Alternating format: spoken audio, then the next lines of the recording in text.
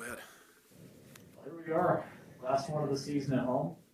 Um, forty-one home games in front of these fans. What's their volume meant as far as the impact for guys on the bench and the critical moments and shifts during games? Well, it, our our fans have been awesome all the way through, right from uh, right from the uh, the first game of the season all the way through. Uh, they make this an awesome atmosphere to play in. Our players uh, players love it, um, you know, and that's uh, that's that that's part of growing and building together. And like I said, our fans have made this one of the best buildings to play in in the National Hockey League. Going with the Drees tonight Yeah. we saw Lind for Sprong, is that correct? Yes. All the changes? Yeah. Well, Pouliot will be in as well.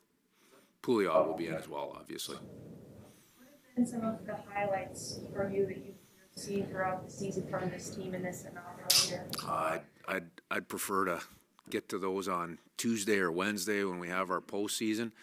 I'll be honest, you, I mean, today the focus is on what we're doing. I mean, this is still, this is, you know, this is a business of, um, you know, going out and winning a hockey game. So I haven't reflected a whole lot on that. You know, there's, uh, there'll be a time for that for sure. Um, and that, you know, that time will come after the next couple of days. But right now, um, you know, it's it's about staying in staying in the fight here um, and and making sure we're ready and prepared to play tonight. You know, we've lost a few games, you know, three games in a row here. Um, you, well, we want to end on a good note here tonight. So this is about tonight's performance.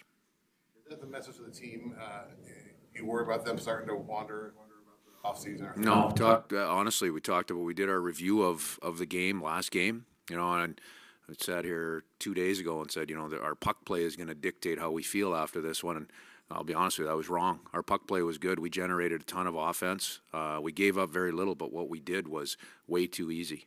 You know, so you know, we it's a normal morning. We we addressed what we have to, you know, what we have to shore up tonight, um, and and what we need to do to to win a hockey game here tonight. Dave, as far as the younger guys who are still looking to carve a role for this next season, how much more do you expect them to push, or more so just to treat this more like more of the same? Who, who would that like? You got to be like, who are the young guys? I guess. So just, just, just, uh, for example, Kole Lind, and we got called up recently, back in and off of injury. For a game like this, for him, are you looking for more from him, or, or just more of the same? Uh, Well, consistency. You know, we talked about it a few days ago. You know, for a guy like Kole, um, you know, t- you know, two hundred foot. You know, consistent hockey. You know, hockey game. Um, he's coming off of, you know, a couple nights out of the lineup. Uh, so he needs to come back in tonight and and do exactly what I talked about earlier. Help be part of you know helping us win a hockey game. So. Um, it's not. I mean, it's not all about one night for any of these guys. You know, for for a guy like Kole, it's certainly not about one night. He has a decent body of work. I'd like to see him keep building on that. You know, at the end of the day, decisions for next year are going to be made. You know, for the guys that are back and back in training camp, those decisions are going to be made next year. But the impressions that are left uh, from uh, you know, from the past few weeks, uh, as well as from tonight, uh, those, you know, those last. Earlier in the season, you had a comment about someone had asked you if guys were really having that much fun in this building.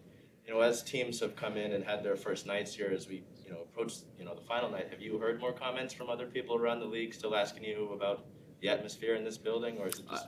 I, I haven't in that regard, um, you know, but I can tell you, I mean, I've been around, you know, been around the league a, a few different times, and this building is awesome. You know, the uh, the atmosphere in the building is great.